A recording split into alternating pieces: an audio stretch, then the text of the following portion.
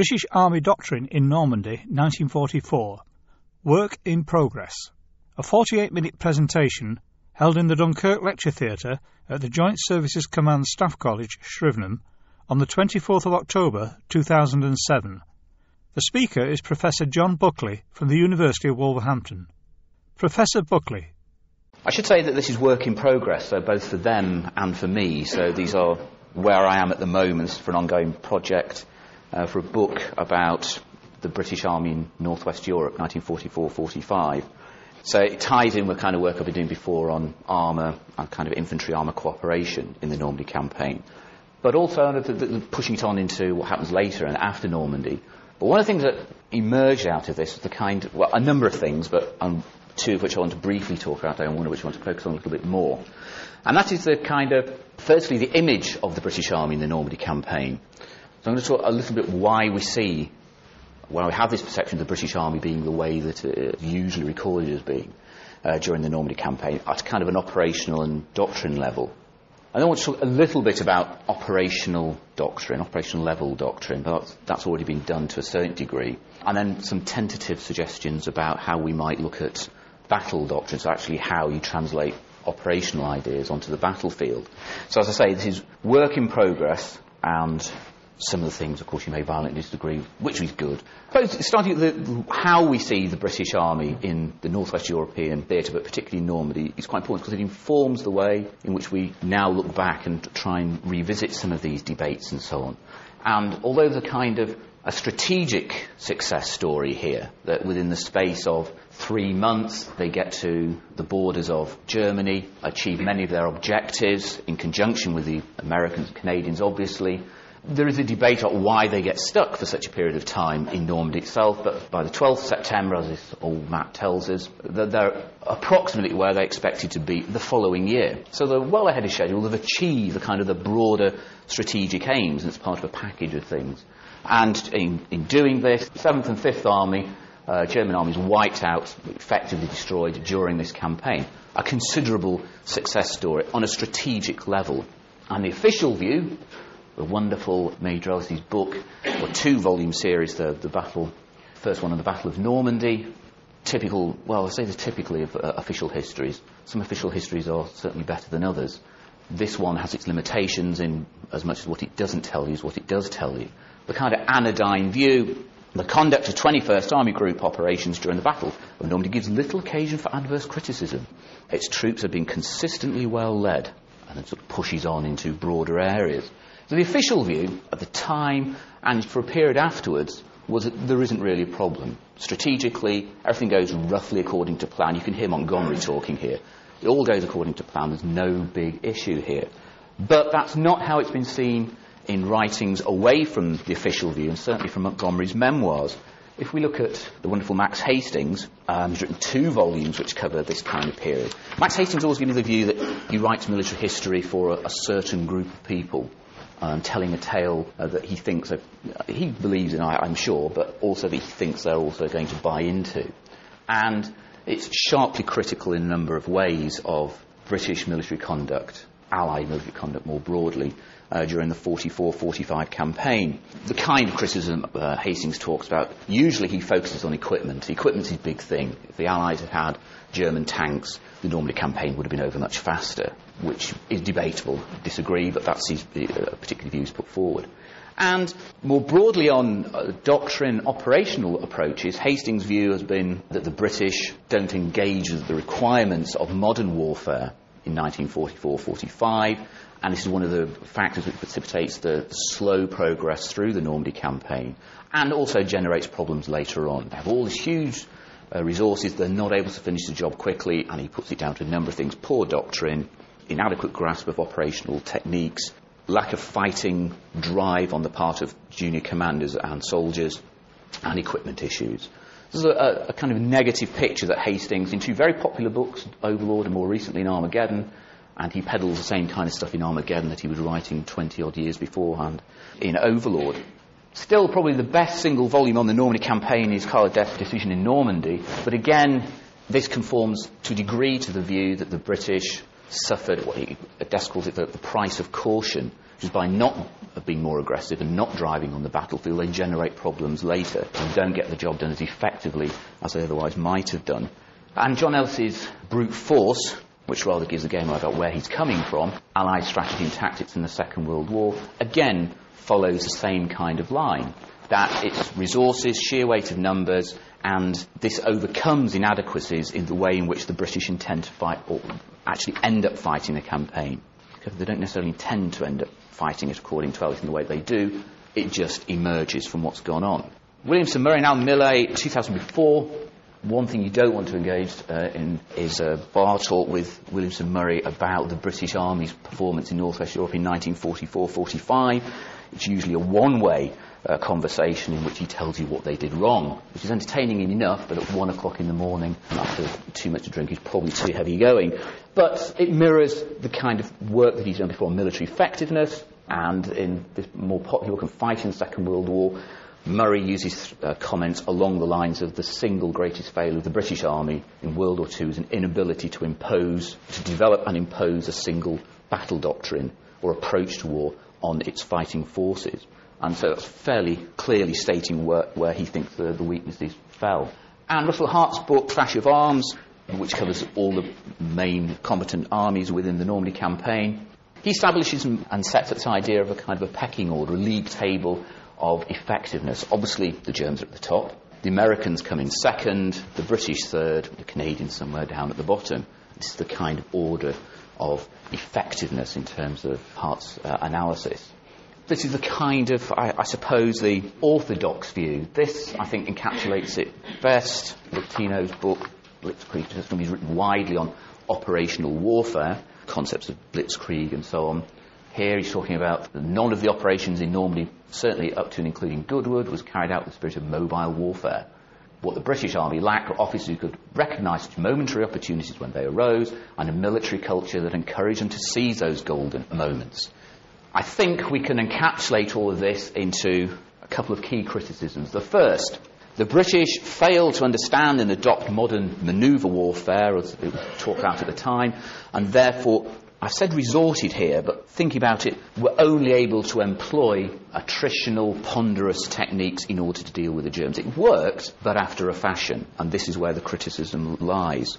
Secondly, in terms of the doctrines of how, at lower unit level, the British failed to learn from the experience of battle prior to the Normandy campaign, and indeed during the Normandy campaign, and therefore failed to generate appropriate doctrine and to impose it rigorously on their armies and a number of studies have indicated there is some justification in this. Consequently, the British Army embarked on the North West European campaign with questionable levels of doctrine in terms of how it's embedded, whether it's the right approach, and how effective it's going to be. The roots of this orthodoxy, I think, come from four sources, and which influence the kind of writings of Hastings and others and push debate in a particular direction. I've broken down to four. The first is what I call the, the post-war cartel, a group of interested parties who wanted to influence, to push a particular view of how the British Army had functioned. Liddell Hart, of course, spent most of the, the 50s and 60s rewriting military history along the lines of if only they'd listened to me. And he does this particularly with how the British operationally uh, function in northwest Europe. They hadn't learned the lessons in the way that the Germans had. The Germans had learned the lessons because they read Liddell Hart properly. Now we know that that's largely a, a fabrication, but that's how he sold particular view, dating back to the late 40s, because in his correspondence with various people. Chester Wilmot was with the Allied forces during the uh, Northwest European campaign and wrote, in particularly the book Struggle for Europe, the view that the British Army had struggled, along with others, Allied forces generally, the British Canadians in particular, because they lacked the drive. They weren't driven in the way that was necessary in order to engage in close combat. Whereas the Germans were, the Allies weren't. And this, he indicated, was a singular weakness of the Allied approach. And that's why they kept it in the problems they did. Smaller bodies of German forces were able to hold up much larger Allied forces. Giffard Quesne Martel, wonderful name, written before the Second World War about how important armoured warfare would be in the future. And post-war, immediate post-war period, used the Normandy campaign and examples from northwest Europe to demonstrate how German techniques would be much more effective in stopping the Russians than Allied techniques had been during the Second World War. So trying to demonstrate what could be learned from World War II and use these terms that linear defence is no good and you need flexible mobile defence if necessary, which rather misses the point that in Normandy the Germans employed linear defence for the most part anyway on an operational level. But also takes on to the, the Cold War, which was raising a, a, number of questions about how we viewed military operational doctrine and so on. It was largely focused around how you stop the Russians. And this growing important area in the 50s influences ultimately the way in which historians and uh, armed forces tended to look back on the Normandy campaign. It's kind of a retrospective rewriting. Maneuver warfare, or loosely anyway, uh, was the key. That's what the lesson that had been learned from World War II. That if you wanted to be effective, rather than engaging in drawn out, heavy handed attrition, appropriate ways, look at what the Germans did, in short, anyway. So it leads to a retrospective selective reading of World War II. To the extent that examples are drawn from Normandy to reinforce a view that the British Army in particular had taken, a model example of how to stop the Russians in the post war period would be to look at what the Germans had done to stop the Goodwood offensive in July 1944. That's the model, and they actually try to get Sandhurst historians to use this in a battlefield tour to demonstrate how effective this, this particular approach would be until the military historians at Sandhurst rebelled and said that's not actually true. But you see the pressure that has grown during this particular period. The Germans have also played a, a key role in shaping our view of the Northwest European campaign particularly the German generals who are excellent at apportioning blame to everybody other than themselves as to why they lost the Northwest European campaign, particularly the Normandy campaign. Partly they were simply outnumbered, there was nothing they could do. The Luftwaffe let them down. And that really, if you take those two things out of the equation, you get a, Max Hastings used this term, an even or a fair fight between two units of German or British or whoever, the Germans would win. Well, that doesn't necessarily hang together, but that's the kind of view that post war German military professionals from the Second World War tried to put across. That's what they told Liddell Hart in particular. They were critical Allied fighting power. You had all these resources, yet you still couldn't beat us in an acceptable amount of time. We would have beaten you much faster, if only it hadn't been the fact you had more and we don't have air support. The Germans were also excellent at propaganda in terms of low level military prowess on the battlefield. They did it much better. At the time, a lot of Western views on how the Russian army fights or fights in the Second World War is go through the prism of German perceptions, and likewise how the British see themselves and the Americans and the Canadians is through how the Germans see them. And this kind of approach shapes the way in which we view the campaign. And of course, on top of all that, at a more general level, there's this popular fascination with the popular readership and writing with the SS, German military efficiency, and generally technology. The Germans had the best tanks, they had the best uniforms, they had the best kit. Therefore, they must have been good and they were only beaten by sheer weight of numbers. I think two particular examples of this, which are interesting but amuse me in a particular kind of way, is Dupuy's book, A Genius for War, we think about that, it always strikes me that it's kind of the genius of Sven Göran Eriksson, which is very good in the preparation and getting you to the point at which you can take part in the main event, but not actually good in making the final results stick. A genius for war. The two biggest war Germany fights during the period was talking about, they're horribly beaten. You might argue you, could go for a different title, a genius for certain levels of operational manoeuvre operations and so on. Maybe. When it comes to actually fighting a war, that's somewhat different. But by 82, Van Creveld's book, uh, Fighting Power German and US Army Performance 3945, the first page is something along the lines of it's well known that the German army was much better than the American army in the Second World War. I'm going to find out why. And then proceeds to go into a great deal of discussion about why the German army was good at certain things. Taking as its starting point the previous view, perhaps influenced by this perception of the Germans, that the Germans were, were good at war.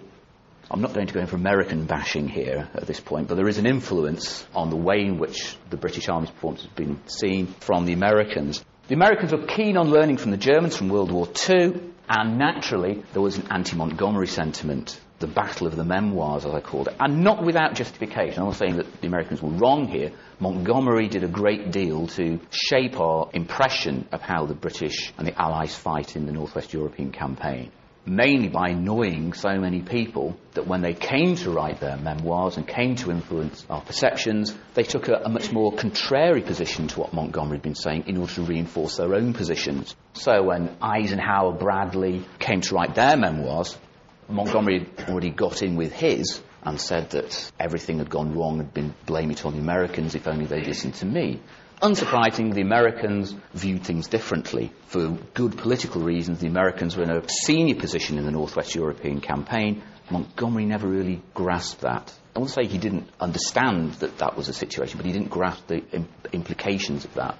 And of course, Montgomery's inability to get on with Patton and Patton's inability to get on with anybody like Montgomery also influenced the way in which the campaign was seen. That's not to say that there are rights and wrongs, and Stephen Hart, in his book on operational art in 21st Army Group, is right to say that we shouldn't let our perceptions of Montgomery's peculiar personality obscure the fact of how effective or ineffective operational art was within 21st Army Group. But it does shape our understanding how others have seen the campaign and why it is seen in this particular way. We've seen this in examples of popular imagery as well. A bridge too far, who are seen to be the, the army that stops for tea, doesn't think on its feet, uh, is inflexible, uh, doesn't listen to intelligence. It's the British Army. Now, there may be elements of truth in all of that, but the way in which it's put across in a film demonstrates that there's a kind of view which has started to emerge. It's even in Saving Private Ryan, Ted Danson, of all people, that tells us a, a, great deal about military conduct in World War II, makes a, a throwaway comment that Montgomery's overrated. I mean, the idea that a soldier in the midst of fighting in Normandy would be passing such comments of that nature is ludicrous beyond belief. But it's still, it's in there, and it tells us something, I think. So the image of Second British Army during the Northwest European campaign in Normandy, something along these lines. It's ponderous, it's too reliant on material and kit, it's sticky, is one of the terms of use, it's predictable. The Germans all say the, the Allies do the same thing time and time again, which clearly isn't true, but that's the, the story put across. The soldiers are timid, that they lack fighting zeal and, and spirit. The leadership is unimaginative, the army is cautious, and is weak in doctrine. This is the kind of view that has been established over this period. I think we need, however, to take a step back and think about the terms and the parameters of the debate as to what we're actually looking for in here. Because most of the critics have measured the British efforts against concepts of what the Germans had been doing and what perhaps the British Army was hoping, or particularly American Army and post 45 armies were hoping to move towards, which was not reliant on brute force or attrition and so on. Many critics retrospectively wanted the British and the Allies to have fought in a particular kind of way, even like the Soviets to a degree, willing to take the pain in order to get the campaign over with quickly. Terms like blitzkrieg are bandied perhaps more accurately, Bewegungskrieg, I'm reliably informed. And that's the kind of approach, it's kind of a post-war pattern which is then placed on our perceptions of how the, the Allies and the British in particular performed during this period of 44-45. There are two obvious problems with this analysis. The first is that the British never actually intended to fight like that in Normandy for clear political and strategic reasons, which I'll talk very briefly about. And I would also say that this interpretation is based on the kind of close combat military effectiveness idea. It's a very narrow interpretation of military effectiveness. It's not just about how units at the front line fight in close combat. Artillery, air power, and the package of supply, logistics, intelligence, all of that is a crucial part of how a campaign is fought. Yet most of the criticism and the emphasis is placed on one part of how 21st Army Group and 2nd British Army fights. I think that's arguably that's questionable, that interpretation, but in any case it just focuses on one little part. The British are generally better, like the Americans and Canadians, are better at this kind of stuff, the broader picture, than the Germans, for a variety of reasons. British Army's objectives for 44-45 campaign, broadly it's this, I think, put it down into five. But one, obviously, is to win. Two, to do it with tolerable casualties. They can't afford to lose too many troops in winning. They want victory by mid 45 because they'll run out of steam if it goes on much longer. Importantly, and these are pressures playing on a high level, uh, they need to remain viable for the post war world. There's no point in winning the 44 45 campaign or beating Germany if the British army is destroyed in doing it. But nevertheless, 4 and 5 actually work against each other They need to play an important enough role to demonstrate that they can sit at the, the victory table alongside Stalin and, and Roosevelt or ultimately Truman. Because they've got to demonstrate they've played a key role in beating the Germans, but they can't burn their army out in doing it. And there are lots of reasons why the British Army is weak at this time. Consequently, the British Army operational methods reflect these kind of uh, particular pressures. There's great emphasis placed on planning and preparation, heavy concentrations of fire support, air and artillery in order to get themselves onto objectives. Operations are fought over a narrow front to maximise the effectiveness of firepower. Infantry and armour are supposed to work closely together in order to get onto their objectives. That's where some of the problems start to emerge. Seize the objective, consolidate the position, and the important point, sometimes overlooked uh, to a significant degree, is the defeat of the enemy counterattack. And prior to the Normandy campaign, senior commanders, 21st Army Group staff like Guy Simonds and Dempsey and so on, already fully aware of the way in which they were going to defeat the Germans was to get them to attack them. That's easily the best way. Attacking dug-in uh, formations, even with artillery and air power, would be enormously difficult, and inflicting casualties on the Germans would likewise be a trick. The way to get them out, uh, to inflict casualties on the enemy, was to provoke them into counterattack. And the perception was that if you annoy the Germans enough, they will counterattack. Drive them off the position, German military doctrine, get it back straight away, which arguably in other circumstances would be the right approach, but it also then exposed the Germans to heavy concentrations of fire support, air and artillery. Get the enemy army to move, then you can destroy it. Whilst it's dug in, with the technology and capabilities of the day, you can't, or it's much more difficult. Finally, you would then move to a stage of exploitation, which again, because of the approach, the British and the Americans and Canadians struggled with. There are weaknesses in here, this operational uh, approach, and things which they're not very good at. But it conforms, thinking about to the, the previous pressures, of how the British Army needs to fight in this campaign. The operational method as it develops during the campaign, and this is an important point I think, they have a, an idea at the start, but it's developmental. They change and adapt as the campaign goes on. They have a series of set piece battles and operations from which they derive certain lessons which are then reinterpreted and placed into the way in which you fight the next operation. The idea that it's static and that the Allies continue to do the same thing in the same old way is clearly not the case. That's not to say they solve all the problems and become fantastically good at conducting operations. They don't. And they struggle with a lot of the issues which are self-imposed by the operational method they've chosen. But it is an ongoing learning process. And it reflects, I think, British strengths resources, intelligence, planning, mobility, not manoeuvre, but mobility and firepower, and British weaknesses. And as an important point, most of the British Army in Normandy is inexperienced. It's not an experienced army, so it's an army that's having to learn, develop its doctrine and its method with inexperienced forces in a fairly intensive theatre of operations. They've got a dwindling personnel pool, and there's perception that British soldiers cannot be imbued with the ideological fervour that the German soldiers have. Well, it's not necessarily ideological fervour, but German soldiers have been fighting for four or five years in some cases. On the Eastern Front, they have a very different view of what war is about than British, American, and Canadian soldiers. Arguably, I'd say that's rather a good thing, but it's sometimes used as an example of how Allied soldiers did not have the kind of morale underpinning their efforts that the, the Germans did. Well, there'd be a price to pay for getting your soldiers to that level um, of fighting spirit, if you want to use that term, uh, and that would be a, you would have a very different army to the British uh, army as it was in 1944-45. So uh, briefly on operational on methods, but one of the key criticisms is battle doctrine. I mean the term, the term as it was in 44, 45, which is how you translate operational ideas into how you make things happen on the battlefield in terms of linking your R and infantry and artillery and so on effectively. And I'd say that the general criticism, David French has made these comments as well, and so the, we can see there is a pattern that within British Army battle doctrines, not at operational level, which is also changing, innovating as it goes along, there is a a view I think you can break down into a failure to learn, a failure to impose, and a failure to adapt in terms of the way in which the British approach operations on the battlefield at lower unit level. A failure to learn from previous experience prior to the Normandy campaign, from what's happened in North Africa and the Mediterranean and from 1940, and from experiences of training in Britain prior to D-Day. A failure to impose this upon whatever your doctrine is, a failure to impose that on the, the British Army prior to the campaign, and a failure to adapt the doctrine once you're actually fighting. And these areas are, I, th- I think are worthy of looking at.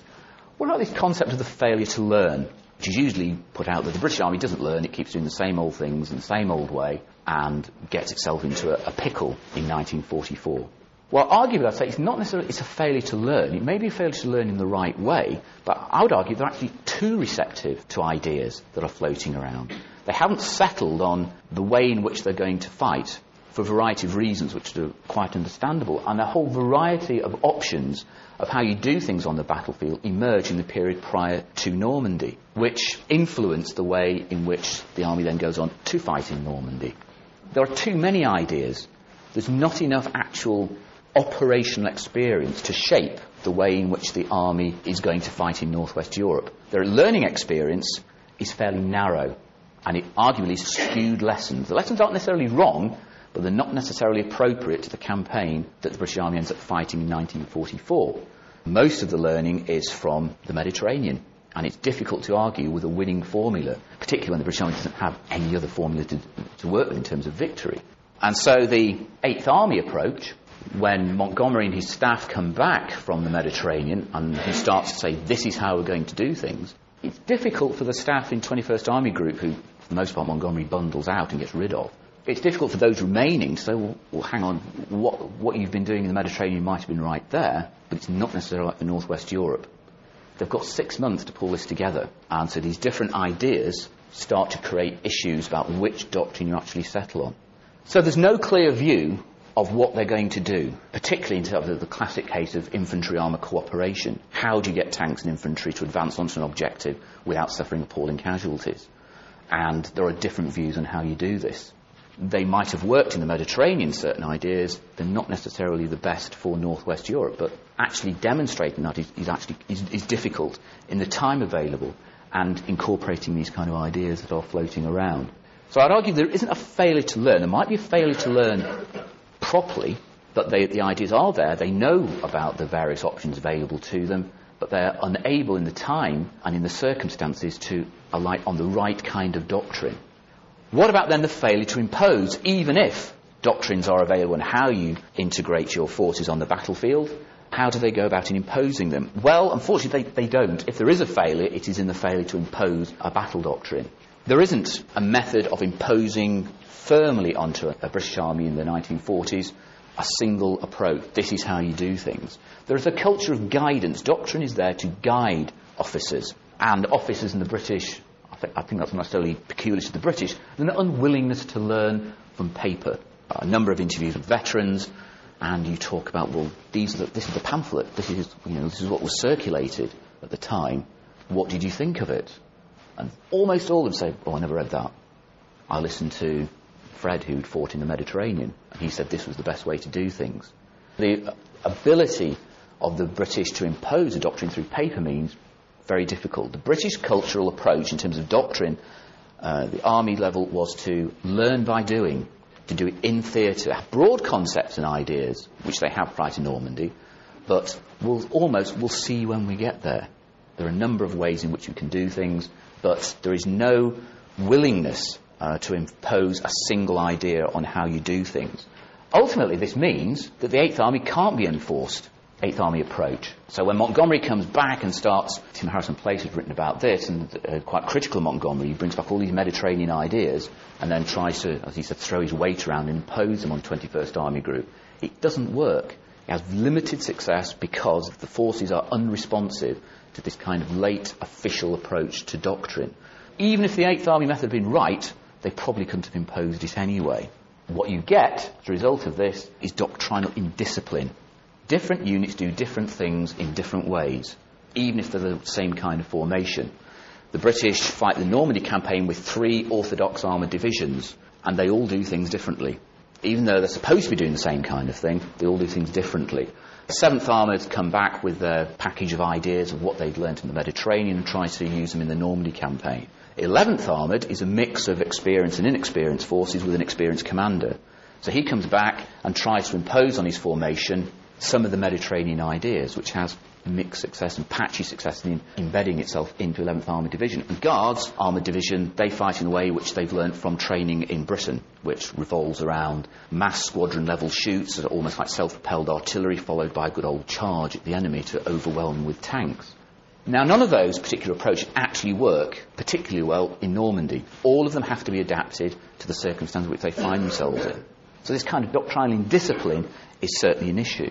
What about the failure to adapt once they're there? Well, I would argue that this is where the British prove much more successful. They adapt with success, both at an operational level and tactically. They learn from what happens in theatre, and as doctrine is tried, it's modified, abandoned, refined, changed in order to suit the circumstances. And they're able to change their unit formation structures, the way in which they integrate to different methods. They try different things in using infantry and armour to solve a particular kind of objective at certain times, sometimes leading with infantry, sometimes leading with tanks.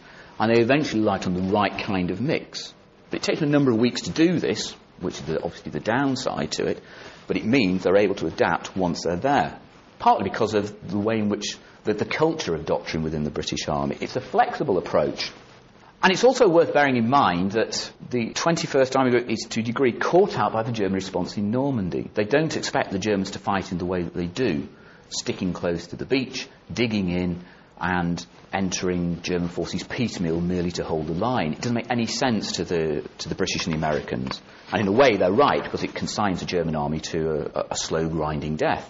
They expected the Germans to fall back and conduct a fighting retreat onto the terrain of their choosing in which they could use their advantages in mobile warfare. So the British Army really have, was preparing for a different kind of campaign to the one eventually ends up fighting. So arguably, even if they had imposed a particular approach, it might well have been the wrong one. The consequences of all this, battle doctrine on 6th of June 1944 is patchy. Some units end up doing things the right way fairly quickly, others it takes longer for them to grasp the principles. And it's difficult to develop a doctrine across the entire army and get them all doing the same kind of thing, even in theatre. They've got to work up to a point at which they have an idea of what's going on. There has been a definite failure to enforce War Office or 8th Army doctrine in 21st Army Group at battle doctrine level. Operational level, they're better, as I mentioned. I would argue that this failure to enforce a doctrine actually probably saves the British Army a good deal of pain in Normandy. It would have been ideal for them to have the right doctrine properly emplaced in the army prior to the Normandy campaign. But they probably wouldn't have enforced the right doctrine for the kind of campaign they were fighting. Because the most likely doctrine to be imposed, if one could have been imposed, was the Eighth Army's, which in part was the wrong one. So, in a way, the inability to enforce a particular approach and the way in which you use artillery to support armour and the way in which you integrate infantry and armour on the battlefield. It's as well that Montgomery's ideas weren't enforced. That's not to say that Montgomery was entirely wrong. It worked in North Africa and it worked in the Mediterranean, but it needed refinement for Northwest Europe. There simply wasn't the time or the facility to do that. And it was difficult for 21st Army Group staff, as I mentioned before, to counter what was being brought back from North Africa. It was a winning formula how can you counter that when you haven't got much to go on in terms of saying, you know, do we need to question this more forcefully? So, in a way, the cultural approach, or the culture of the British Army in its approach to doctrine, gets them out of a mess because they're able to innovate once they're there. So, what you get is an ability, demonstrate an ability to adapt and innovate in theatre. Not an ideal solution at all. I'm not saying this is the best way to do things. Clearly, it's not. But in the circumstances of inexperienced army, too many ideas floating around, and an inability to impose the right doctrine, a flexible approach actually gets them out of the mess they're in. Many of the issues are solved in theatre. Arguably, controversially, it's more flexible than German doctrine. When you talk about the Germans being masters of the battlefield and so on, you always hesitate to say, well, actually, they don't do everything particularly spectacularly well in northwest Europe. We've no idea whether operationally they're better than the Allies because the Allies never let them conduct a major operation. They're always reactive to what the Allies are doing.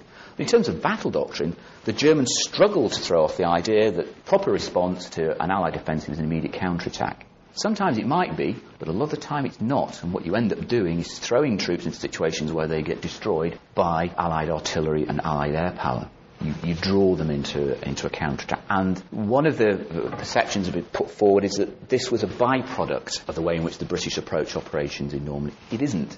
Senior commanders clearly stated beforehand they had a grasp on how they were going to deal with the Germans, and this was it.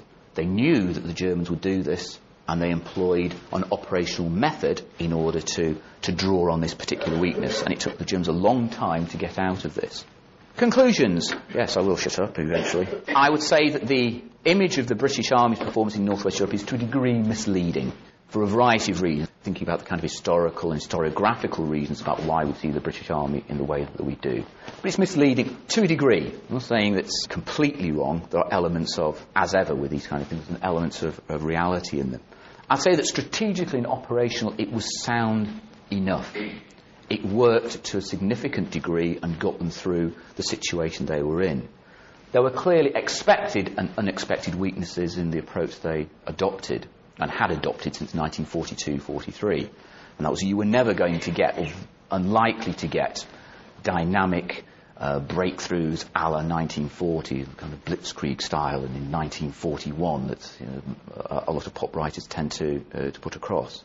You were much less likely to get that, but what you were likely to get was a, something which met the strategic and political needs which had been stated at the start of the campaign.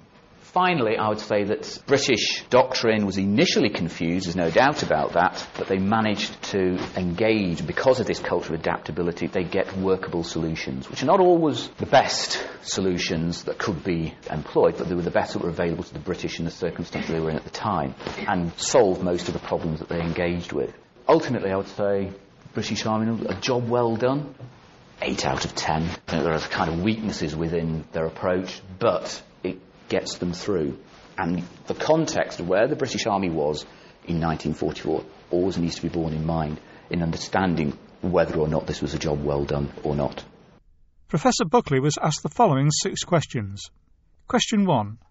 Would you concur that it doesn't matter what doctrine the British Army adopted, the fact that the Army adapts is key? To a degree, yes, as the British Army was in 19, the 1940s armies prepare for the next war by learning to fight the, the last war or something like that. I think in this case it's probably true. But it, it, it's difficult to judge how good the British Army was at formulating doctrine because the experience they have and where they have success is such a narrow area and uh, such a completely different set of circumstances to as they were going to fight in, in northwest Europe that we, we don't know whether the British Army would have been able to get to the point at which it would have a, uh, an appropriate doctrine for Northwest Europe. The doctrine as it was, or the way in which they fight it in North Africa, works well enough. And in view of the circumstances of what happened prior to mid 1942, the problems they have, suddenly they start to win. Well, the old adage, if it ain't broke, don't fix it. And I think that was largely Montgomery's approach. And self-reflection is difficult in those circumstances. You always hear sportsmen saying, oh, I, I, don't think about it, I just do what I know works. And to a degree, I think that's how the British Army functions. It helps the British Army's culture, you say, of not having a preset doctrine, but thinking more flexibly. Because of its historical, developed historically, I think that's why it gets to the position it's in and gets it out of the mess that it ends up in a little bit in 1944. So to a degree, yes, I think that's, that's true. Question two. You talked about the operational methods of using heavy concentrations of firepower. Do you think it was a good idea to tie up resources in that way? Absolutely, yes. Um, you, you have a tendency to, to talk about fire support, and but naval gunfire support is obviously a crucial part of that, and it's an unexpected and pleasant bonus. And it partly falls into this idea that they they didn't expect the Germans to stay there for precisely those kind of reasons. It, it, in many ways, it didn't make sense. It, it did in some ways for the Germans, because what options did they have? Conduct a fighting retreat and you let the Allies swarm all over you because they're much more mobile than you are. But it consigned the German army to fighting in a particular kind of way and the Allies refined the way in which they integrated artillery, air power.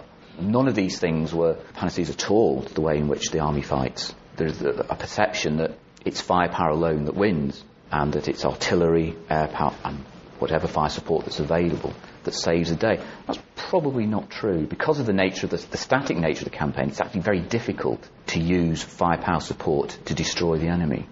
If they're moving, you can, but in the circumstances of norm, it's very difficult. But it's, it's excellent at suppressing a target and getting you forward with the unexpected bonus that the, the Germans stay close enough to the coast. Yeah, this stuff is incorporated clearly. Question three. What do you think was the most important tactical operation that took place on the battlefields of Normandy in terms of the process of adaptation.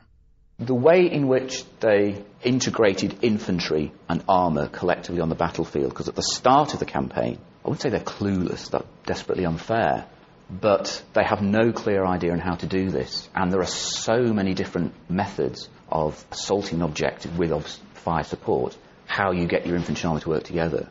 Do you lead with tanks? Do you lead with infantry? Do you have the infantry with the tanks? Do you have them behind? Do you have them mobile? And they try so many different approaches to this, all born out of previous experience and learning from elsewhere, either in the UK or North Africa. They get to the point where it's clear that in certain types of terrain, you need much closer integration. The infantry and armour got to work much, much more effectively together. And getting your infantry onto objective quickly is seen as the key in order to do that. They develop in two ways. Firstly, very quickly, formation starts accepting that they've got to have the infantry on the tanks, tank riders. Now, this had been rejected prior to Normandy being far too dangerous for obvious reasons. That people fall off, artillery fire and everything will cause all sorts of problems. And tanks get very hot as well. But it's the only thing they can do. So they actually revert to that and come back to that idea, and it's the armoured, armoured formation commanders who start coming to that solution. It's not imposed from above, they come onto that uh, solution themselves. They restructure their armour and infantry uh, brigades, for example, to work collectively together on the battlefield as opposed to fighting separately. That worked okay in North Africa, or it was functional, it wasn't ideal, but they hadn't had enough to, to reject that. That was the first thing, actually getting the infantry on the tanks and moving them with them, which meant that when you hit a problem, infantry bail out, you've got infantry immediately available to help identify and deal with the problem and come to solutions. The other is, of course, the, the introduction of, I suppose, crude armoured personnel carriers to get the infantry moving with the armour. And they're doing this by totalising. It's often cited this is a Canadian innovation, which it was in, in, to a degree in practice, but uh, the British had been uh, O'Connor had been asking for this some time before, and his Dempsey blocked it prior to Goodwood. Said that we haven't got time, he wasn't sure whether it's such a good idea. And by putting infantry in armoured vehicles, fully tracked armoured vehicles, and moving with the tanks, suddenly you had a kind of a mixed formation that could adapt quickly. That was the, the biggest innovation. They still have problems afterwards, but that's really the way in which they needed to go, I think. Question four. Was there any appreciation that the Germans might operate in a similar manner to the way they did on the Eastern Front? And were there any efforts to communicate the lessons learnt from that? They didn't have much in the way of conversation with the Red Army. The only times I've seen it in terms of cooperation, as learning something that the Russians are telling them, uh, occasionally related to a, a, comment about kit that the Germans were using in MI 10 reports where they've gathered information from the Soviets, whether the Soviets knew about this or not is another matter. I think in some cases they didn't. About what equipment the Germans were using, because of course, uh, uh, in a lot of cases, the Allies don't really encounter it a, great deal until Italy, by which time it's too late to influence what they're doing. It's one of the big criticisms about why British tanks are undergunned and so on. It's too late by the time it comes to that. That's one factor. In terms of doctrine, not a great deal, no.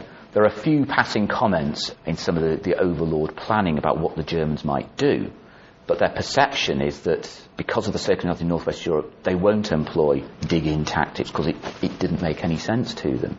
So when the Germans do do it, in a way, I, you could sort of imagine uh, if they'd sat back and thought about it, 21st Army Group starts saying, this is a result, you know, they're playing into our hands. But now we've got to seize the opportunity uh, of what they're doing. But in terms of actual battle doctrines, no. Although th- th- th- they did talk about the way in which the Soviets had used tank riders and it was the, the, Royal Armoured Corps report, if I recall, which states that this is a really bad idea, and so we shouldn't do it. But in the circumstances, nor do they have to, and it works to a degree. Question 5. With reference to Goodwood, large numbers of tanks were obliterated by the Germans. Was that because the tanks used were substandard armour, or was it because there wasn't infantry in close support to suppress enemy fire? both points come into play. Goodwood's inter- is, is, the interesting example because it's the one that's most usually rolled out, an example of what the British do badly, and it is a bad operation. Dempsey said after the war, strategically it was the right thing to do, but tactically it was a mess, and he's quite right. Principally, Goodwood did not conform to the operational technique that had been set down and the, the, accepted way of doing things, which was that you advance so far under the cover of your artillery, get the enemy to attack you, and then you hit them. Goodwood goes beyond that and the Operational Research Unit, Tony Sargeaunt, I think it was, who was uh, the armour expert, looked at the Goodwood plan beforehand and argued against it. It isn't conforming to what we're supposed to do. It's going to overstep the mark. We're going to outpace our artillery support, and when the counterattack comes, we will struggle to defeat it. So that's one particular view, that they don't have the firepower support to defeat any localised counterattacks properly, although they do, in a way. The other point about the infantry and um, armour cooperating on the battlefield, the uh, 11th Armoured Division Commander Roberts had argued that he wanted his infantry brigade to work with, more closely with the armoured brigade when they went forward. But they weren't, they were kept back in order to secure the position a couple of the villages in the early stage of the campaign. So the armoured brigade is herring off on its own, and it's largely armour, with one infantry uh, battalion working with it, spread out between the three regiments uh, of armour. So there's not enough infantry support available. But they're under strict orders to bypass pockets of resistance and keep going. If the enemy's in a position to start shooting at you, then you've got problems. And there are also problems with air support and so on. Sometimes overstated, but there are problems with it. So it, it breaks all the rules that they set for themselves. Whether it's the tanks, no, I, I don't think it is. Max Hastings says that if the, uh, the, the, British had the German tanks at Goodwood, Goodwood would have succeeded. It's claptrap. Uh, I'm sorry, it's, it's, just not true. Half the German tanks would have broken down halfway through the operation anyway. But it's nothing to do with the, the, the kit, I don't think. It doesn't help that the Sherman tank burst into flames far too often once it was hit. Obviously, that's bad for morale. But that wasn't why they were getting knocked out. That's what happened after they'd been knocked out. And Allied gunnery would have done pretty much the same to most German armour in those circumstances. So it, it breaks the rules. It was identified beforehand. Infantry is used to secure the position rather than working with the armour for reasons which imply that Montgomery wasn't expecting a breakthrough. You know, secured the position, but let's see how far the armour goes. And that resulted in problems. Question 6. Were the operational objectives communicated to lower level commanders? It's one of the usual things that's uh, wheeled out. The Germans use mission-based command and the Allies use orders-based command. Well, to a degree that's true, but not in the way that it's often portrayed. Montgomery was very keen on a clear battle plan and everybody knowing what they were going to do. So your objective is to get there and do that. And stick to that plan, don't deviate. What he didn't want, he mean, it, it tells us a good deal about Montgomery, I suppose. He wanted a tidy battlefield this kind of brings out kind of the anal retentiveness approach or, or characteristic.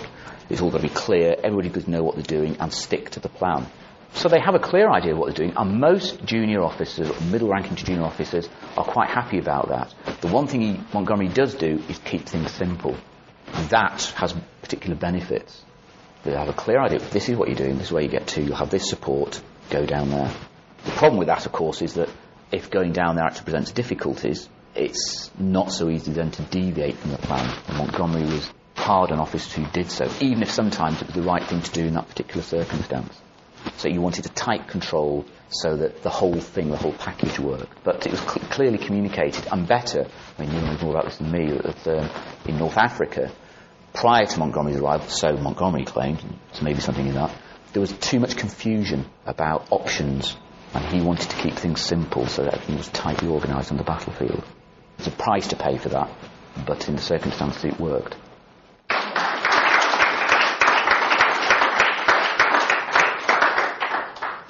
Professor Buckley can be contacted by email at j.buckley, spelt Bravo Uniform Charlie Kilo Lima Echo Yankee, at wlv.ac.uk.